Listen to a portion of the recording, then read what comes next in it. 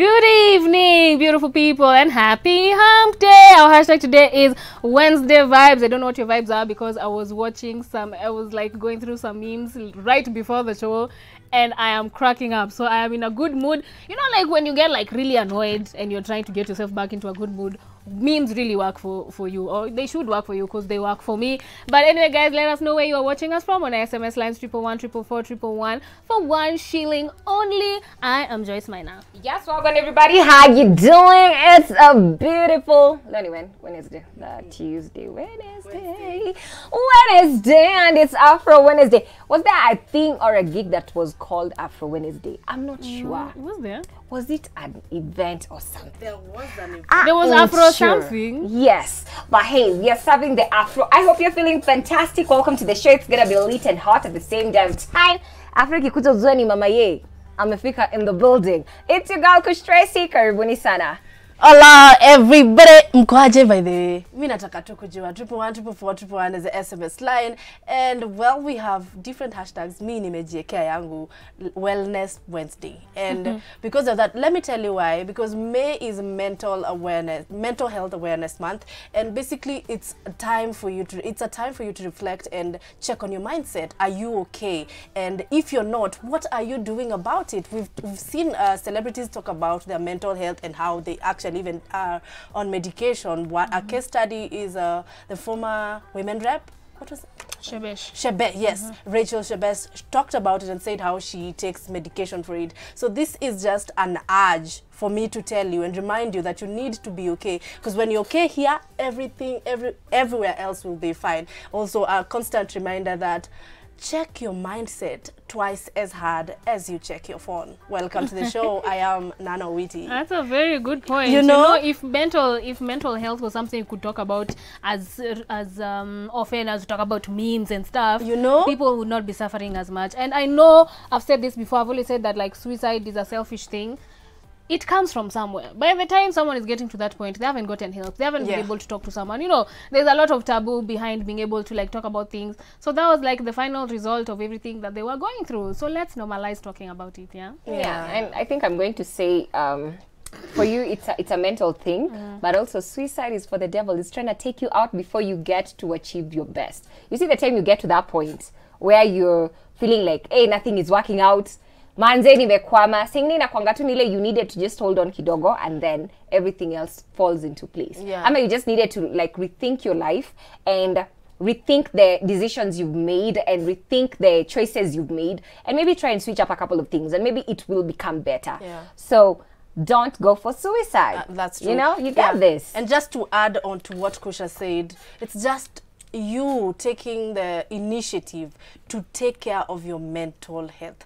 When you're going through something, you may probably not have a name for it. And then you let it grow to something. And then that creates a monster in your head.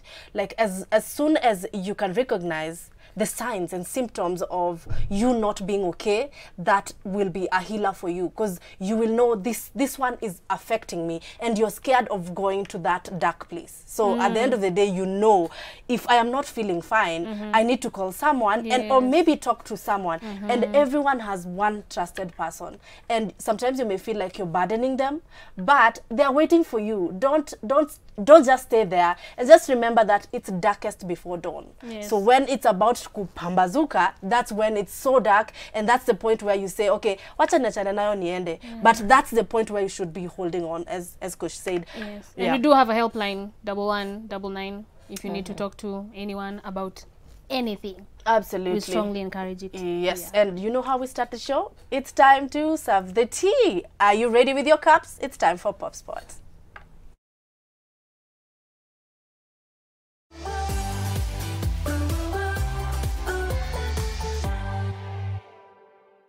So yeah i do have the first story and of which simba mwenyewe kaguruma. Na leo alikuanga anagurumia watu wa forbes africa. I think i did this story last week or was it this week?